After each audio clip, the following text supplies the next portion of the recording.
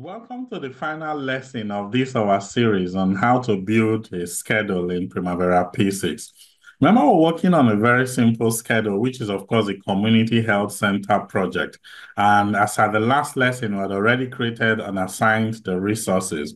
So in this lesson, which of course will be our final lesson, we're now going to load the cost or assign the cost to the activities. And we're going to be following exactly what we have in this simple schedule, in this brief that we have here which of course is what is listed here for each of those activities.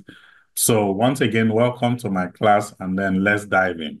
So if you notice in the final class, this is basically where we left it, where we assigned the resources. So next is to assign the cost. So assign the cost, what we now need to do is again, we're going to be adding a column, which in this case is the budgeted total cost column, because that's the column we're going to be using to assign our cost. So by now, you should know how to add columns if you've been following this series.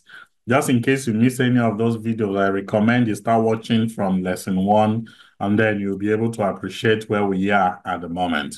So in order to add this column, again, I right click within my table, then I go to columns, then I come to available options, then I go to group and sort by, and then I list.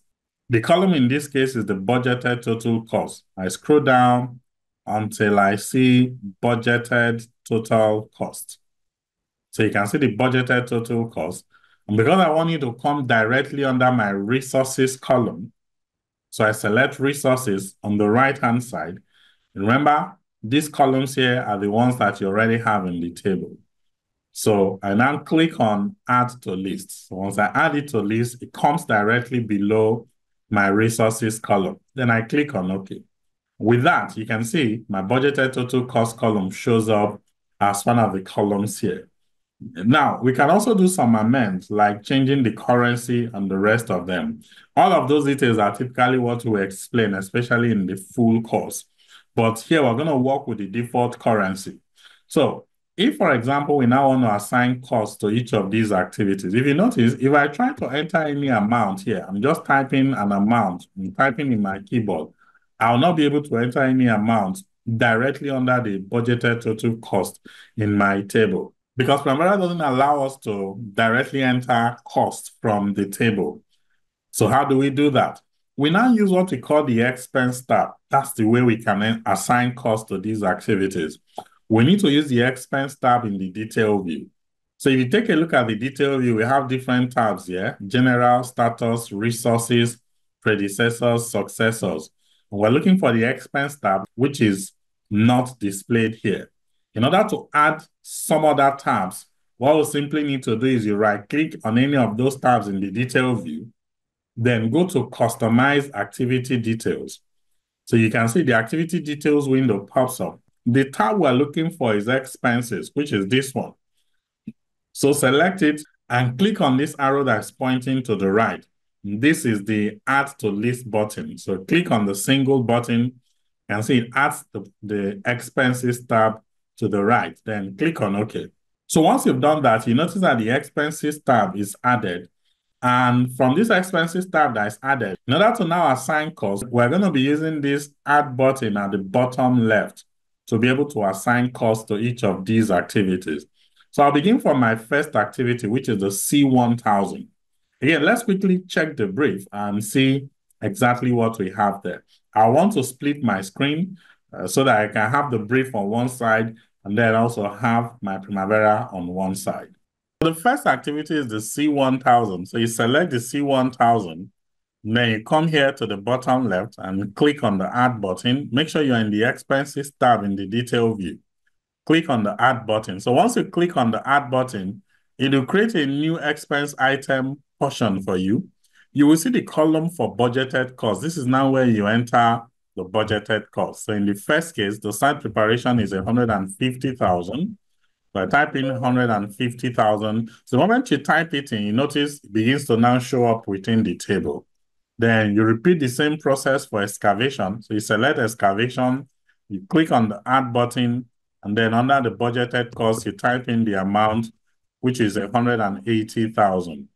Then we go to foundation laying, we click on the add button again, and then under the budgeted cost, you type in the amount, which is 500,000. Then I go to my utilities. Again, I click on the add button and under the budgeted cost, I type in the 200,000 amount. So this is exactly what you're going to do for all the activities, including the framework erection, which the budgeted cost is 900,000. Then the wall construction, which the budgeted cost is 700,000. Then the roofing, which has a budgeted cost of 600,000. Then electrical wiring with a budgeted cost of 300,000.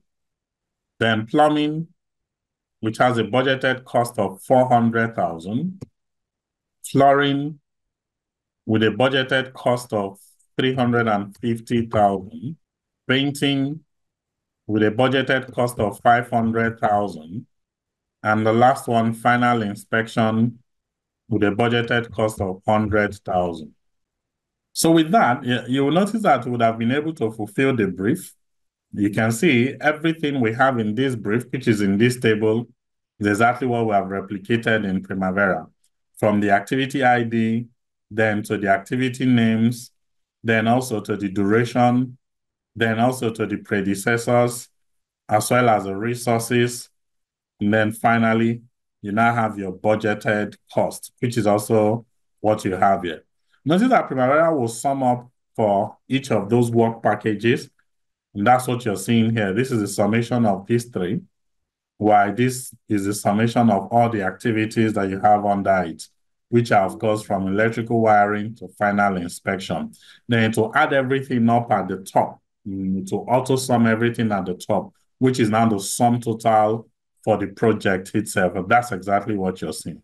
So you've been able to follow these steps and get to this point. You'd have been able to create the simple schedule that you have in that particular brief. And I hope this series was quite an exciting one and you've learned one or two things from it. I want to invite you to actually join our cohort, which of course we normally hold online. We usually have people from everywhere in the world, and it's usually an exciting moment. This will help you build deeper insight and understanding into how to use Primavera P6. And here you're going to be working on real life projects. So by the time you're done, you'll be working on nothing less than five different projects. And that would, of course, help you to be able to build your confidence as well as your capacity in Primavera P6. Don't also forget, you can also you know, purchase this course on Udemy, which is of course very, very affordable and by following the link in the description below. So thank you so much for watching and for pushing it up to the very, very last part of this particular section. And as a compensation, if you choose to sign up for our training, you're going to be getting a 10% discount. And I hope this series has been quite informative for you. Thank you so much. And I wish you the very best in your career. Thank you and God bless you.